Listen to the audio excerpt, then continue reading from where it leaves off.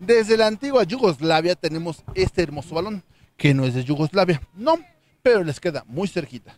Es nada más y nada menos que el balón dedicado a Croacia.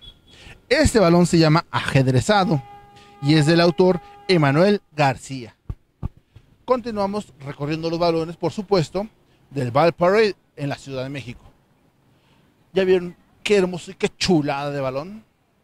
Por acá tenemos a la hermosa gente jugando, tenemos pues la bandera de Croacia y tenemos mucho más.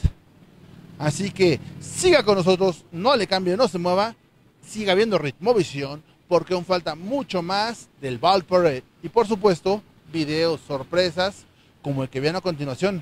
Es un video que está buenérrimo. Si no le gusta, pues se amuela porque es el video que a mí me gustó poner. ¿Cómo ve? A ver qué se con esa. No le cambie, no se mueve, quédese con este video.